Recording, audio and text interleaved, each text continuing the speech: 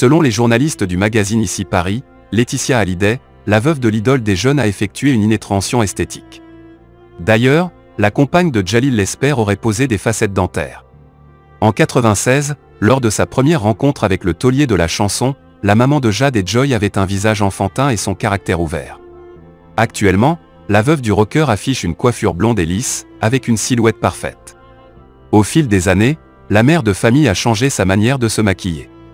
Elle a choisi une restructuration des sourcils pour redessiner son regard, après avoir trop longtemps épilé ses sourcils. En fait, tout porte à croire à son éventuel passage à la chirurgie esthétique. D'autres s'interrogent sur la nécessité de ce nouveau sourire qu'elle arbore.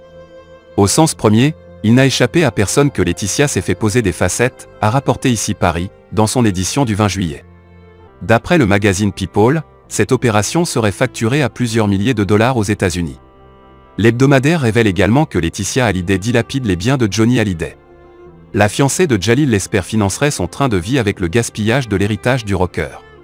En effet, le magazine Ici Paris a rappelé que la moto de Johnny, la Laura High, cette Harley préférée du taulier, a été vendue aux enchères pour 470 840 euros.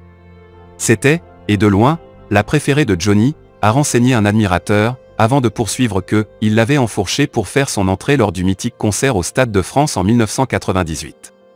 Et elle avait figuré dans le clip Can't Stop Wanting You, en 1994. Cependant, on ignore tout de l'implication de la maman de Joy et Jade dans cette vente publique.